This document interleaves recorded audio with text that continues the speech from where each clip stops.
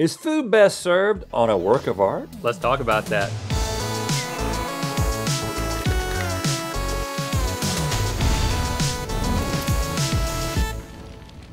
Good mythical morning. I gotta admit, I don't like doing the dishes. In fact, I hate doing the dishes so much that sometimes I'll eat food out of a paper towel or my hand or my favorite, straight out of the skillet with my little fingies. I, I like dishes, but I do eat off of paper towels a lot so that I don't create dishes. Yes. Uh, but since you're thinking outside of the plate, and judging by the popular Reddit thread, we want plates, and a whole bunch of other bewildered foodies on the internet, many restaurants seem to be on this same train Right. of hating to use regular old plates and bowls, so much so that they've gone off the deep end of serving food in shoes, mannequin hands, and even tiny toilets, as we experienced when we went to the toilet restaurant uh, here in LA. Yeah, I remember that. I don't know if it's still open. I do remember it was appropriate because, if I recall correctly, the food tastes like crap. It, it yeah. It, was not good. It didn't look good and it didn't taste good. Well, speaking of toilets, the world is flush with restaurants who it. refuse to do things the normal way, and we're about to experience the best of the worst. It's time for. Excuse me, waiter, but is my steak being served on the back of a chihuahua? I hoped it would be served on the back of Devon Sawa. Who's Devon Sawa? Come on. 90s heartthrob. On my walls as a teenager. Stevie, I didn't do 90s heartthrobs. Yeah. well, in I didn't any- do in them any- either. I, I didn't even have walls in All right. the 90s. Tell them how it works. Okay, we're going to be served a nearly identical recreation of a restaurant dish served in an outlandish presentation. Outlandish. Guess- Outlandish. Outlandish. And guess if it is this got served, meaning that it's real, or if it was concocted by the mythical crew, in which case we're going to say, y'all, Y'all got, some nerve, which means that Fake. it's fake. Yeah. If we guess more than half of these correctly, we win a round of fries for the table to enjoy during Good Mythical More. I mean, we're the only ones at the table. let's eat. Hello, gentlemen. My name's Trevor. I'm going to be taking care of Hi, you Trevor. today. You work here too, huh? Hello. Yeah, I work here and I also moonlight on Hollywood Boulevard as a George Michael impersonator. Oh, crap Yeah. is oh, this? wait, he's got a headband. First, we've got ribeye, thin sliced, and you're going to strip it off and then place it in a hot pot. So for we're gonna we're gonna take the clothes off of Barbie. Yeah, yeah. Lady Gaga meat If you have any suit situation. questions, let me know and enjoy. This seems this seems a little strange for for us two Well, I'm ju- middle-aged men to be doing, you know, to be taking the clothes off of Barbie. Well, we're just, I mean, uh, she's still going to be clothed. I'm not going to get her completely naked. I mean, I think I can just take this off. I mean, look at that. She's still decent. It's got quite a. And I've got, looks like I've got some broth here. I don't go to a restaurant to do all of the cooking. I, I don't even do that at home. So Well- th- this is not going to bring me to the yard. You know what I'm saying? I'm not sure there's much cooking happening.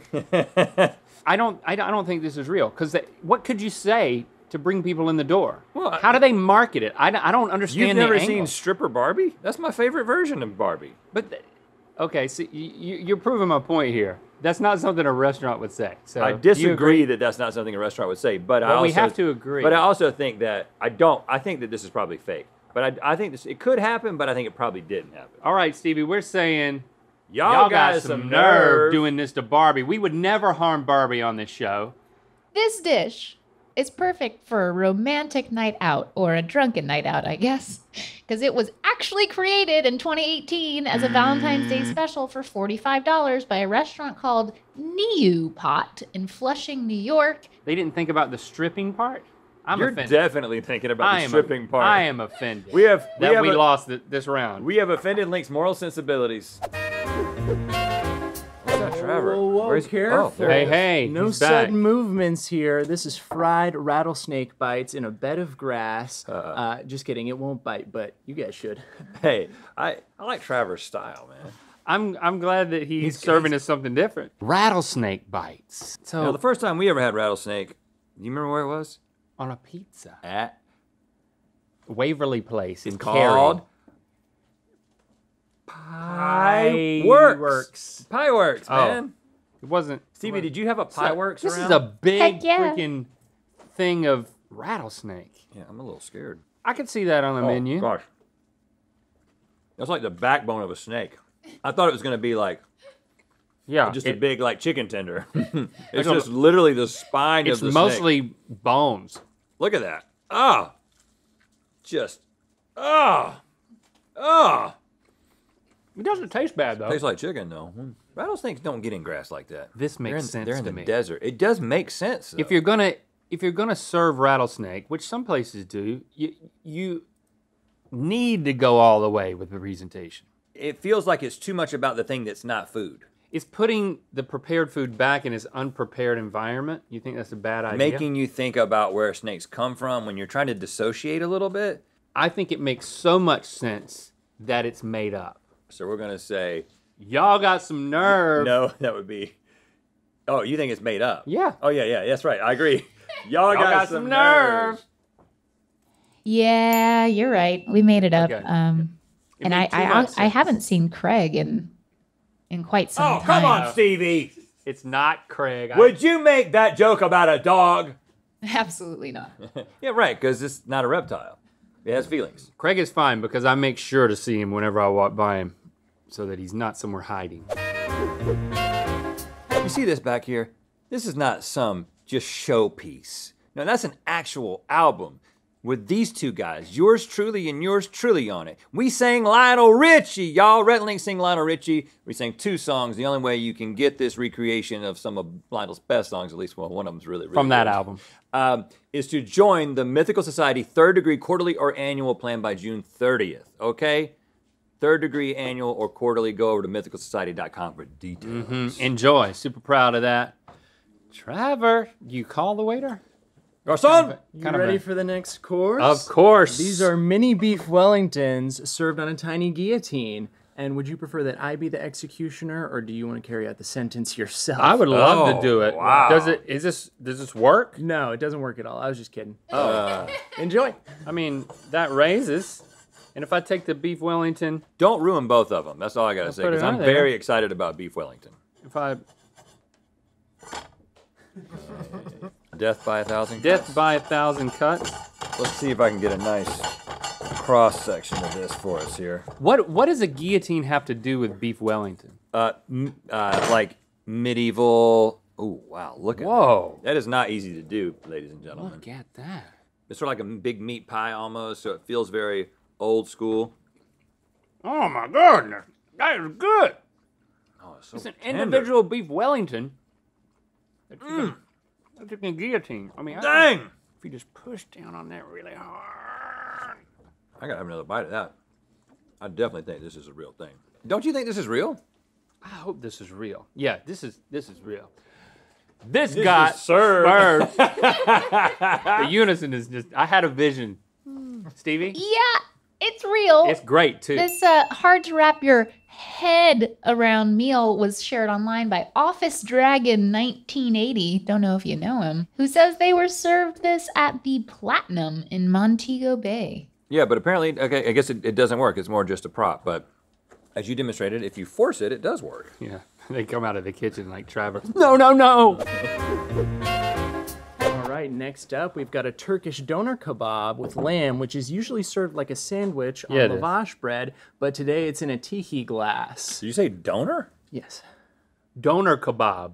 Who don- who donated the kebabs? D O N E R. How do you eat this, Trevor? With a, Ah, with a however you fork? like. You like diggy down in? Yeah, sure. That seems Diggy, diggy, seems diggy. That seems Can't right. you eat? You've eaten a lot of food. I trust you guys. Enjoy. I guess I mean I guess technically the animal that provided the meat is a donor of sorts. This is a bit. This is. You have to go through everything. You got to really get dig. to the stuff you want. So I don't. I don't like lo- the logistics of this. No, I hate Does it. that does that mean someone didn't try it? I don't think this is practical at all. Hmm.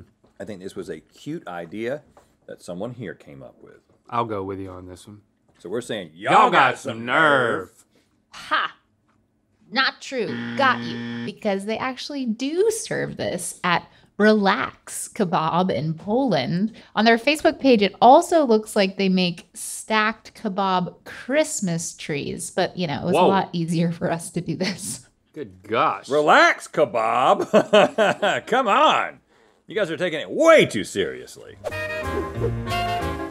Did someone order a plumber? No, I'm kidding. I'm just a George Michael impersonator. but here's some onion rings on an old metal pipe. Wow. I mean, there is something about having a waiter like Trevor, who just has Yeah. he, he's got charisma. It's the the earring. I just noticed that. Oh, thank that you. that really. I feel like we're that, friends. That you know? really We're buddies. sets it off. Are you the kind of uh, waiter that like sits in the booth with you? I'd love to, but there's not a chair here. Right. I mean, Right, We hung out exactly. twice. I know where both of you live. I know the last four digits of your socials. We're buddies, you know. Right, right, we're, right, we're right. friends. Man, That's a big onion ring. that's a tasty onion ring. And onion rings are just begging to be draped on something. I have to believe this is being done on all types of things. I've seen I've seen volcano stacks. Now I've seen hangy Here's why I don't think this is hangy done. versions. onion rings being together in a basket keeps the heat together, and when you bring them up and, it's, and there's this much airflow, it cools them down. What if it's a radiator pipe? It's not. It's just a regular pipe. Yeah. So I think that this isn't as practical as it as it could be. You Just want these because to be it's not hot. a good idea doesn't mean that Oh. a dumb restaurant doesn't do it. I just don't. But you're gonna have a bunch of people coming back and saying, "Onion rings are cold. My onion rings are cold. My onion rings are cold. My onion rings are cold." So a restaurant may have done this like for a week, but then they they would say that y- that you got served. All right, Rhett, I'll go with you. Y'all, got, some nerve because they're cold. These onion rings served on a metal pipe were created by mythical chef Yes! Josh's mortal enemy, Gordon Ramsay, at his restaurant Maze Grill in London. Oh. Well, Yeah. you know what? We already know that Gordon. I mean, See, Go- man? Gordon's ma- he's making I told you they're Gordon's begging. making mistakes left and right. He's making culinary mistakes left and right, and as Josh is pointing out, did you see that grilled cheese? But Rhett, Did you see that grilled cheese? Rhett, you made a mistake, and I went along with it. Yeah. Okay, we can't. We don't get our fries now, but at least we got onion rings. So we have some sandwiches here, and Howdy, partners. yeah, yeah. You ready Hey, for some barbecue on the bayou? What's a little pulled pork sandwich without a little fire in the hole sauce? Just say when. oh, oh, yeah, aim at the aim at the sandwich. You good? Not at my, not at my crotch. Trevor, could you uh, hit me one more time? I'm gonna leave. It's hard to dual wield them sometimes. Good gosh.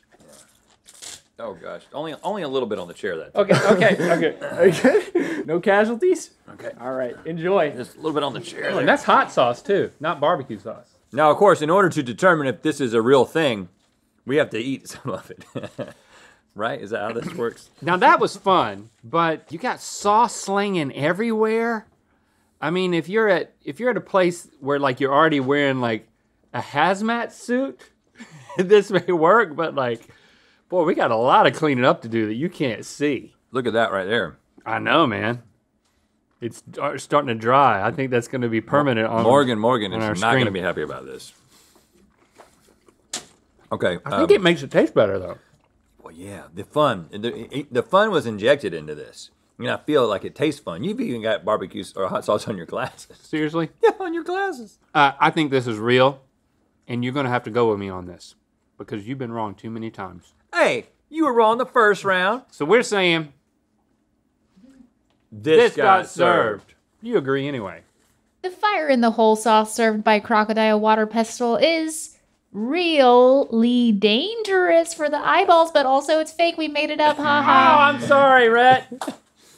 Yeah, Dang it. Yeah, it's too messy. It's You just didn't win the round of fries, No, sadly. no round of fries. But I could just sit back here and I'll eat them. Oh, is that what's happening? Yeah. okay. Well, I'm, I'm a actually big round of fries. I'm actually a little bit happy A about that. tire full of fries. He makes everything seem fun. Makes Everything everything, is seem fun. enjoyable. Everything is fun when you're a George Michael impersonator on Hollywood Boulevard. Right. Yep. I we'll get see, it. We'll see you there tonight, man. Okay. Thanks for subscribing and clicking that bell. you know what time it is. Hi, I'm Anna in the UK. I'm walking alongside the River Mersey by Liverpool. This says Bean. And it's time to spin the wheel of mythicality. I, I like to know about the surroundings. I like to be well oriented. Click the top link to Cool watch to be us. thought of. Guess what pineapple has been soaking in during a mythical more? And to find out where the Wheel of Mythicality is going to land. To get the Rhett and Link Sing Lionel vinyl release, join Third Degree Quarterly or Annual by June 30th. Visit mythicalsociety.com for details.